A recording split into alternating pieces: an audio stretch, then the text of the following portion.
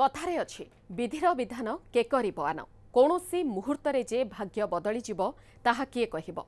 ଠିକ୍ ଏମିତି କିଛି ହୋଇଛି କଟକ ବସୁନ୍ଧରାର କୁନି ଶିଶୁକନ୍ୟା ପୁଣ୍ୟାଙ୍କ କ୍ଷେତ୍ରରେ। ଓଡ଼ିଶାରେ ଜନ୍ମ ହୋଇଥିବା ପୁଣ୍ୟା ବଢ଼ିବେ ଆମେରିକାରେ।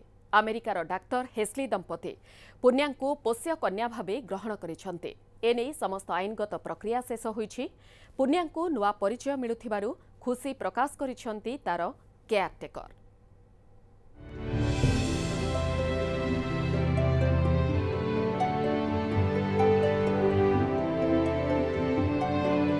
ନୂଆ ପରିଚୟ ପାଇବ ପୁଣ୍ୟା। ଓଡ଼ିଶାରେ ଜନ୍ମିତ ପୁଣ୍ୟା ପଢ଼ିବ ଆମେରିକାରେ।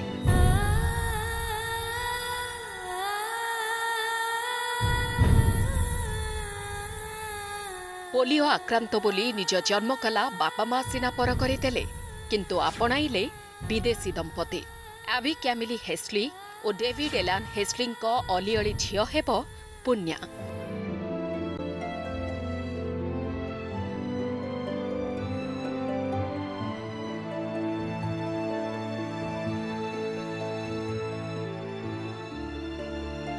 ଦୁଇ ହଜାର କୋଡ଼ିଏ ମେ ଆଠ ତାରିଖରେ ବସୁନ୍ଧରାର ଏହି ଝୁଲଣରୁ ପୁଣ୍ୟାକୁ ଉଦ୍ଧାର କରାଯାଇଥିଲା।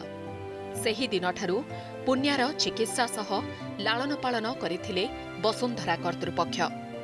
ତେବେ ପୁଣ୍ୟାକୁ ନୂଆ ପରିଚୟ ମିଳିବାକୁ ଯାଉଥିବାରୁ ବେଶ୍ ଖୁସି ପ୍ରକାଶ କରିଛନ୍ତି ତାର ଲାଳନ ପାଳନ କରୁଥିବା କେୟାରଟେକର।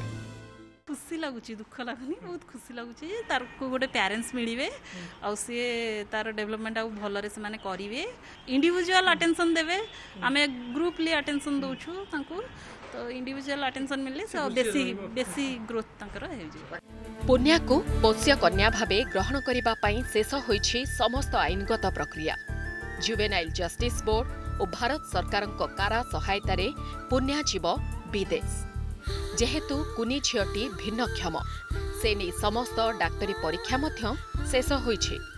ଏବେ ତାର ପାସପୋର୍ଟ ଓ ଭିସା ପାଇଁ ଆବେଦନ କରାଯାଇଛି।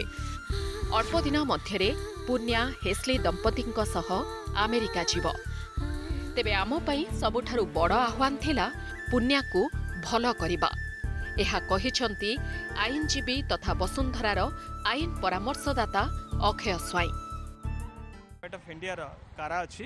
କାରା ଗୋଟେ ପ୍ୟାରେଣ୍ଟସ୍ ପଠାଇଛନ୍ତି। ସେ ପ୍ୟାରେଣ୍ଟସ୍ ହେଉଛନ୍ତି ୟୁଏସ୍ର they are also to the medical profession ସେମାନେ ମେଡ଼ିକାଲ ପ୍ରଫେସନ୍ ଅଛନ୍ତି ଉଭୟ ଦମ୍ପତି।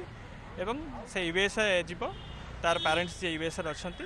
We are in process of passport and visa because court process just immediately over then we are proceeding towards passport and visa Cuttack ବସୁନ୍ଧରାରୁ ପୁଣ୍ୟା ଭଳି ଚାରି ହଜାର ଶିଶୁଙ୍କୁ ଭାରତର ବିଭିନ୍ନ ଦମ୍ପତି ଆପଣାଇଥିବା ବେଳେ ପାଖାପାଖି ହଜାରେ ଶିଶୁଙ୍କୁ କୋଳେଇ ନେଲେଣି ବିଦେଶୀ ଦମ୍ପତି। କଟକରୁ କ୍ୟାମେରା ପର୍ସନ ପ୍ରଦୀପ୍ତ ବେହେରାଙ୍କ ସହ କିରଣ କାନୁନଗୋଙ୍କ ରିପୋର୍ଟ ନ୍ୟୁଜ୍ ସେଭେନ୍।